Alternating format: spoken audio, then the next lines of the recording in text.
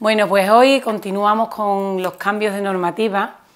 mm, que afectan pues, al sistema eh, de reclamaciones, que afecta al consumidor, al empresario, al procedimiento para poder gestionar quejas, eh, sugerencias. Hablábamos la semana pasada de una serie de modificaciones normativas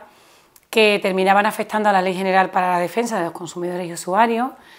eh, y, hoy pues vamos a hablar de una modificación, al final normativa, prácticamente una normativa nueva, andaluza, en este caso, eh, un decreto, decreto 82 2022 de 17 de mayo, que va a entrar en vigor el día 17 de junio próximo y que nos afecta pues bastante. Afecta tanto a consumidores como a empresarios en la comunidad autónoma andaluza. Eh, en el año 2019 se modificó sustancialmente el decreto que había pues ya bastante obsoleto y anticuado de procedimiento de trámite y gestión de hojas y quejas de reclamaciones en nuestra comunidad autónoma y, al final pues afortunadamente y gracias a, a la intervención, el trabajo y la constancia de estos tres o cuatro años por parte de las asociaciones de consumidores y de la Federación Andaluza de Municipios y Provincias, pues se ha conseguido que esa normativa se modifique sustancialmente eh, en muchos de los defectos de origen que tenía una vez que se publicó y que afectaban gravemente no solo al trámite y al procedimiento de las hojas de reclamaciones, sino a toda la gestión administrativa que tenía que hacer la Oficina de Información al Consumidor en, eso, en la gestión propia de las hojas y reclamaciones presentadas por los consumidores y empresarios. Se ha simplificado sustancialmente el procedimiento, se ha ayudado, se ha apoyado al final a las oficinas municipales de información al consumidor, que al final son las que trabajan día a día y cara a cara con el consumidor eh, en la administración pública local,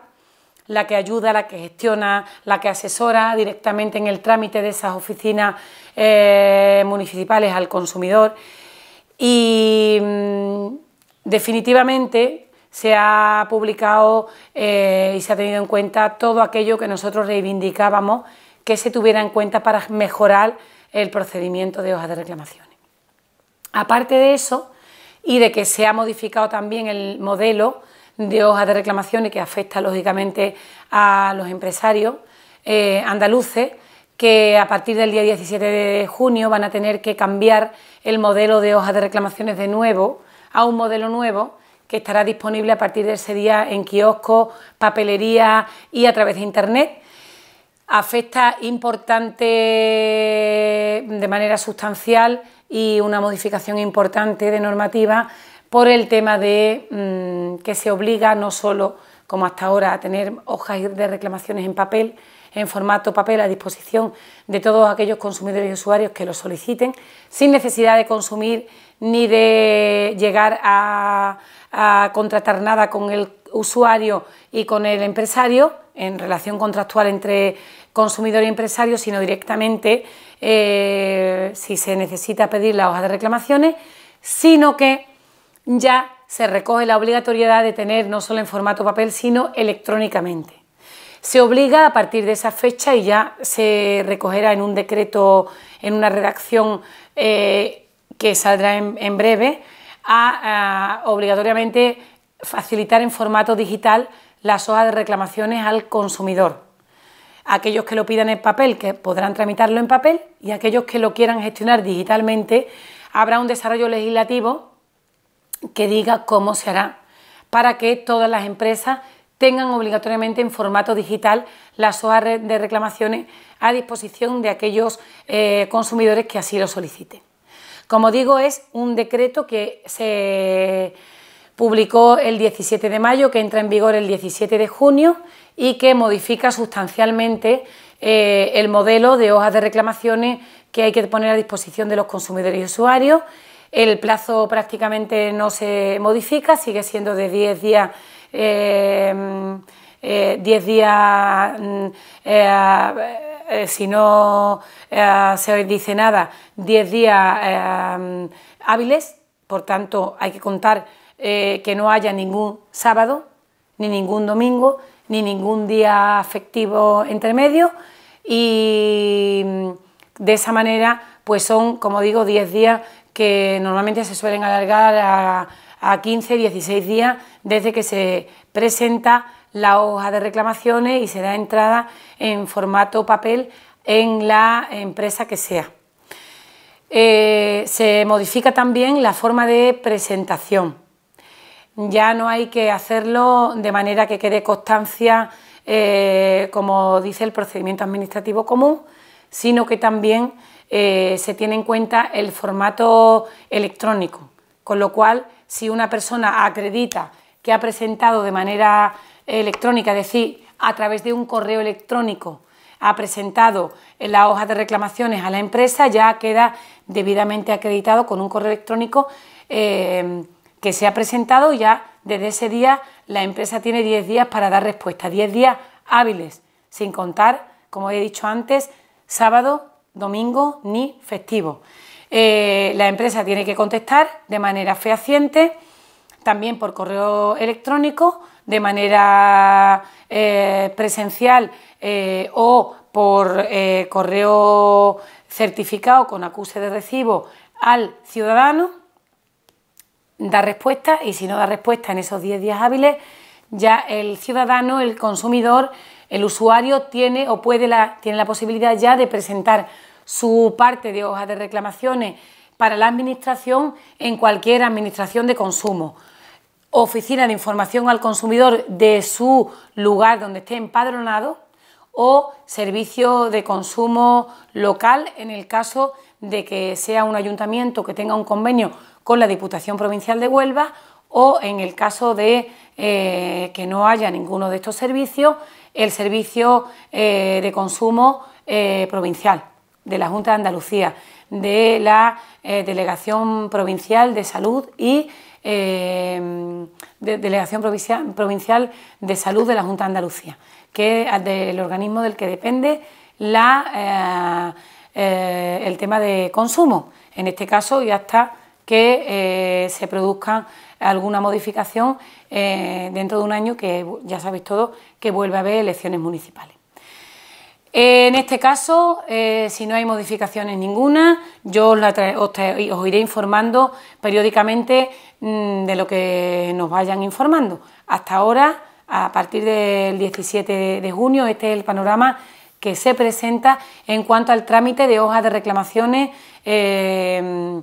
desde eh, del consumidor a una empresa o del consumidor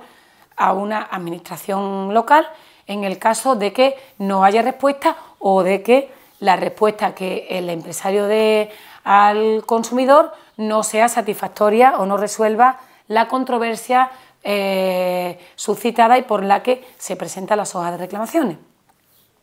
Cualquier duda o consulta que tengáis, ya sabéis que podéis hacernosla llegar al teléfono de la Oficina Municipal de Información al Consumidor 663937874 o correo electrónico consumo arroba aito-medio aracena.es. Es muy importante de cara, porque de cara al consumidor afecta mm, el procedimiento, la verdad que en, muy poco aspecto.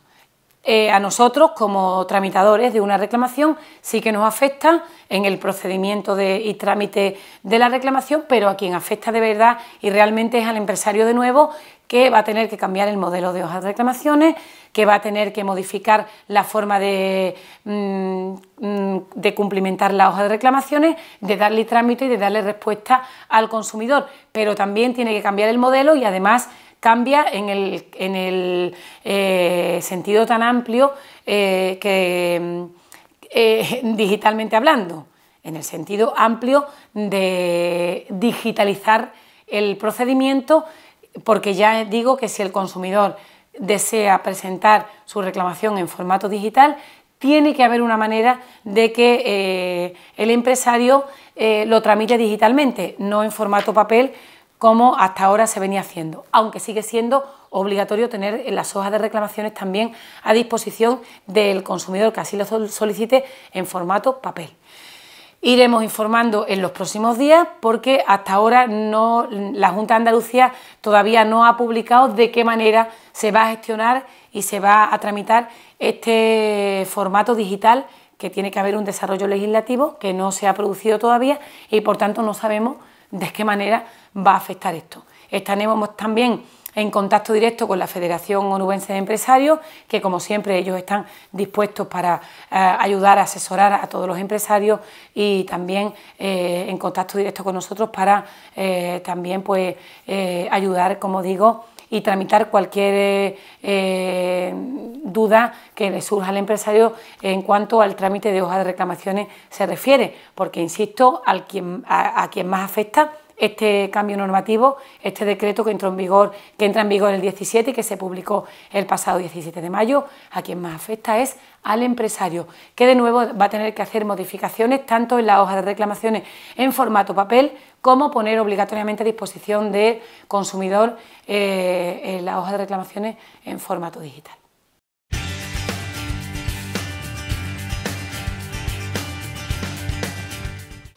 Muy buenas noches. Bueno, pues ya con este verano eh, adelantado que, tenemos, porque todavía meteorológicamente parece que sí que está entrando, pero, pero nuestro calendario habitual no era esta la fecha que tenemos prevista para que entrara ya el verano. Bueno, pues pensando ya en esa temporada veraniega y en, y bueno, en cuando eh, las empresas pueden tener algo de, más tiempo libre, pues le, vamos a, plantear dos, dos acciones formativas que son pues nada en los próximos días. Una de ellas mañana mismo es el programa de Andalucía Lab y es un webinar que lleva por título La creación de contenido informativo de vídeo como fundamento de la comunicación turística. Está relacionado, como decimos, con, con, el mundo turístico porque Andalucía Lab es una página que creó la Junta de Andalucía a través de la Consejería de Turismo precisamente para formar a empresas turísticas ¿De acuerdo? Y, pero bueno, entendemos que puede ser aprovechable por varios motivos porque habla al final de marketing digital. Al final el objetivo es poner de manifiesto que el vídeo informativo tiene una utilidad eh, importante de cara a eh, la difusión de destinos turísticos, a, la difusión de servicios turísticos también, ¿vale? Y al final, bueno, se trata de que quienes lo cursen pues terminen conociendo cómo se pueden crear pues ganchos para que la gente ve, primero abra el vídeo y después no lo deje, lo siga, lo siga viendo, porque un vídeo informativo suele tener algo más de duración que un, que un vídeo eh, de marketing hecho para, redes sociales, que eso es muy, muy corto, ¿vale? Y también, lógicamente, eh, eh, pues aprenderán también ¿no? a crear esos, esos vídeos y también a conocer cuáles son los mejores canales de información, cuáles son los mejores, los mejores canales para difundir esos vídeos en función del objetivo, de la gente a la que queremos llegar, de lo que queremos transmitir y por supuesto también de la, de la duración del vídeo, porque saben que incluso en redes sociales pues cada red social eh, bueno, pues requiere una duración determinada de, los vídeos. Eh, eso en cuanto a esto que, como decimos, tiene lugar mañana y que pueden inscribirse en la página web de, Andalucía Lab. Después también el día 16 de junio, esto es de forma general para todos los sectores, habrá una jornada sobre la puesta en marcha de inversiones de negocios en Portugal. Se trata de una iniciativa que desarrollarán la FOE y el bufete Gaudia, que bueno, pues lo que pretende es poner eh, eh, de, manifiesto y en conocimiento de, la, de, las empresas, pues cómo son esos primeros pasos que se pueden dar eh, cuando una empresa quiere invertir en, en, Portugal. ¿Por qué lo traemos aquí? Pues porque tanto en la sierra como, como también en, en, Aracena, lógicamente, que está dentro de, de esta comarca, hay empresas que ya han hecho inversiones en Portugal y otras que vienen a la FOE interesándose por cómo desarrollar o cómo dar esos primeros pasos. Bueno, pues es un buen momento para, asistir a esta, cita. Será, como decimos, el día 16 de junio a las 12 del mediodía y será de forma presencial en la sede provincial de la FOE, es decir, en Huelva Capital, en la Avenida de las Rías, que como saben está, bueno, pues esta sede junto a Correos y frente al Mercado del Carmen. Eh, como decimos, muy interesante que se haga también presencial porque es una forma de crear eh, coloquio, de crear diálogo sin la frialdad de la, de la pantalla. La pantalla tiene mucha utilidad porque, sobre todo a quienes estamos un poco más alejados de, la, de las capitales de provincia, de las ciudades, nos permite asistir a formaciones y a reuniones sin necesidad de desplazarnos, pero en determinados momentos parece más apropiado el formato presencial, como es en este, en este caso. Quienes tengan interés en, escribirse pueden encontrar el punto de inscripción en la página web de la FOE y también pueden, por supuesto, llamarnos a, nosotros. ¿De acuerdo? Bueno, pues dicho esto, eh, vamos a contarles por qué no estuvimos aquí la, semana pasada, por qué no acudimos a nuestra cita el martes pasado. Y es que bueno, pues nos encontrábamos regresando de, un, de lo que considerábamos que es un hito interesante e importante en el turismo de, nuestra comarca. Ya les veníamos anunciando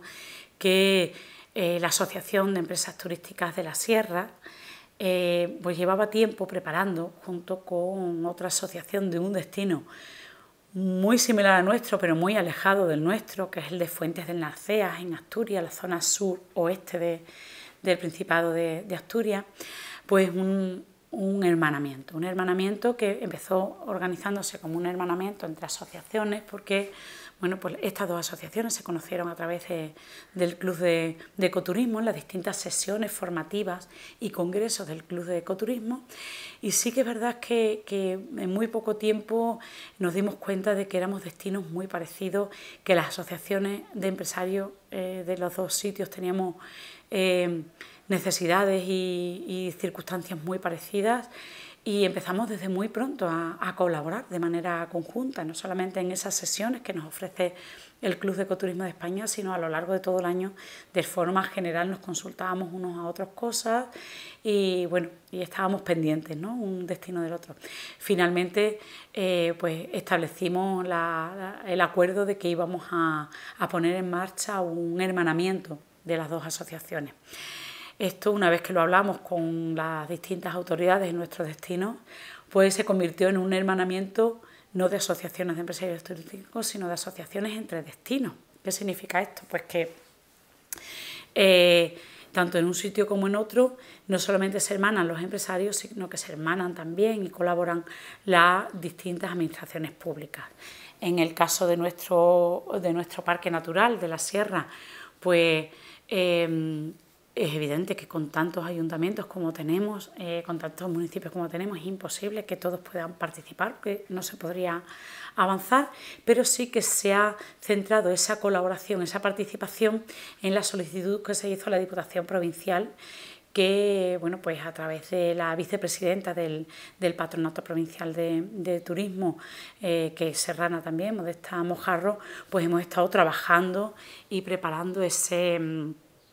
es, lógicamente personal técnico ¿no? de la, del patronato y de diputación hemos estado trabajando esa parte del hermanamiento eh, y junto, como decimos, también con otras administraciones también del, del territorio, de la provincia, de la zona, como es la Delegación Provincial de Turismo, que también participa en este proyecto a través de Turismo Andaluz. Eh, en, bueno, pues a Asturias, además de, eh, ya hemos viajado, hemos, hemos estado allí, se ha dado ya este primer paso de ese hermanamiento. Estuvimos allí pues desde el 27 hasta el 30 de, de mayo, eh, terminamos el mes prácticamente en, en, Asturias y bueno, pues viajaron un total de, de 15 empresarios y también nos acompañó el vicepresidente de la Diputación de, Huelva, Juan Antonio García. No mm, le fue posible acompañarnos a Modesta Mojarro y bueno, pues tuvimos un acompañamiento de, Diputación en este, en este caso. Allí bueno, pues tuvimos un programa muy intenso, tuvimos también actos oficiales de, recepción y de, y de hermanamiento, como decimos. Em, aquella comarca es diferente a la nuestra, es decir, aunque hay muchas poblaciones, pero en realidad ayuntamientos eh, solamente hay tres, con lo cual fue más fácil pues, hacer partícipe a, los ayuntamientos de esta comarca y en este caso, como allí no hay diputación, participaron los tres ayuntamientos de la comarca y el Principado de, Asturias. Em, el siguiente paso, venimos por supuesto encantados, tuvimos un recibimiento excepcional Eh, tuvimos una acogida muy cálida, tanto por parte de las autoridades como por parte de, nuestros compañeros empresarios de, la Asociación de Empresas Turísticas y de Ecoturismo eh, Fuentes del Narcea. Y bueno, pues mm, sí que es verdad que, quedamos eh, también muy bien representados por la parte, por la parte institucional, ¿no? Eh, tanto nuestra presidenta de la Asociación de Empresas Turísticas de la Sierra como el vicepresidente de Diputación, pues les tocó lógicamente intervenir y agradecer esta acogida que habíamos tenido y, e invitar a el destino Fuentes de Narcea, tanto con sus empresarios como con sus autoridades, a devolvernos la visita, algo que ya tiene una fecha prevista para mediados del mes de, octubre, con lo cual bueno, pues tendremos la oportunidad también de agasajarle. A la vez que yo voy hablando, ustedes van viendo algunas imágenes de las muchas actividades que, tuvimos en, en Fuentes de Narcea, confirmamos que son destinos muy, muy similares, con lo cual también es fácil, que esa es la, siguiente parte de, después de estos dos eventos que simbolizarán ese hermanamiento, eh, que podremos trabajar juntos también en un futuro, podemos trabajar juntos la promoción, es decir, hacer promoción conjunta a los dos destinos, la fidelización de clientes, es decir, que un destino sea prescriptor del otro, de forma que el, visitante que recorra los dos destinos pues puede tener también una fidelización especial, un regalo, algo de, parte de las empresas que agradezcan esa manera de, de, responder ¿no? a, esa, a esa fidelización y a esa recomendación que haga el destino hermano, de visitar al otro destino hermano. Y bueno, no, no le explico mucho más porque sí que es verdad que, que entre los muchos actos oficiales que, hubo, eh, hubo uno final especialmente emotivo en el que tuvo una, gran intervención el vicepresidente de, Diputación, donde explicaba bueno, pues lo, lo, bien acogidos que son este tipo de eventos y este tipo de proyectos en la Administración. Pero también nosotros queremos ver ese, queremos que ustedes vean ese momento en el que, bueno, pues las dos presidentas de alguna manera pues hablan y, hacen visible y patente ¿no? ese, ese hermanamiento. Tenemos que decir antes de que ustedes lo, vean y de darle paso al vídeo que eh, por supuesto que hubo un intercambio de regalos y de, productos gastronómicos. Eh, nosotros llevamos para allá bueno, una escultura de un, escultor local, precisamente de, Manuel Espiri, que simbolizaba un abrazo, ¿no? Qué mejor manera de simbolizar ese, hermanamiento. Y además una, una cesta con productos locales, con productos del territorio, pues con productos de setas sirlache, de ibéricos Vázquez, de queso Monterrobledo, de licores Marte Santo, de jamones Eir y Jabugo, em, de forma bueno, que, íbamos muy bien representados, lógicamente, también por nuestro producto gastronómico y a la vez pues recibimos un, presente de, ellos, una representación de la cerámica autóctona y tradicional de allí, de la cerámica negra y también, lógicamente, pues una cesta de, de productos gastronómicos de los que daremos buena cuenta junto con nuestros asociados. Así que no nos dilatamos más, damos paso a ese vídeo y con él no, nos despedimos en este, en este espacio de hoy. Hasta la próxima semana. Creo, creo que el, fin de semana está saliendo muy bien. Estamos intentando, es, es, complicado, pero estamos intentando mostrar eh, la esencia de Fuentes del Narcea, que es igual de fácil que de difícil. Porque es fácil, porque es que vayas a donde vayas, aciertas, eh, muestres lo que muestres, eh, sabes que, la gente se va a quedar eh, encantada, sorprendida, que va a aprender, que va a poder aportar, que va... y a la vez es difícil porque hay tanto, tantas cosas que se pueden ver, tantas cosas que se pueden hacer, tantas cosas que se pueden degustar, que, es difícil un poco eh, decidir lo que hacer y a dónde ir. Eh, estamos poniendo de verdad todo nuestro, nuestro empeño y nuestro, nuestra energía. Y os quiero, os quiero de verdad agradecer que hayáis mostrado siempre ese interés por, por hermanaros con, con este destino tan, tan escondido de Asturias, Fuentes de Narcea. Y siempre os lo agradeceremos, esperemos devolver la visita evidentemente para sellar y quiero cederte la palabra de verdad para que, para que digas lo que, lo que sientes y lo que piensas. Muy Está la presidenta. Gracias. Me vaya a perdonar, yo no tengo la soltura de palabra de estas personas que tengo aquí, pero bueno, lo voy a intentar. Eh,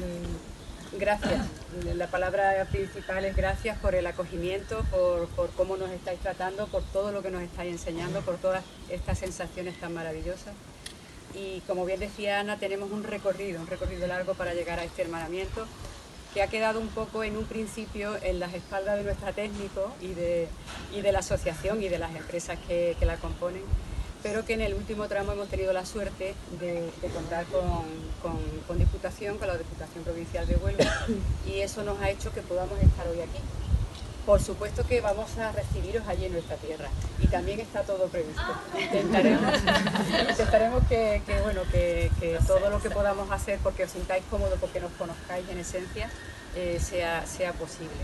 Eh, yo quiero tirar una lanza, eh, si me lo permite, tanto viceconsejera como el director del Parque Natural y el alcalde, por Ana, y por eso que dice ahí en peligro de extinción. Me explico. Nosotros tenemos en la sierra, el, bueno, empresas de turismo activo pues muy, muy activas, nunca mejor dicho, y hay un compañero, Dani Calleja, que siempre lo dice y lo hacemos nuestro ese argumento.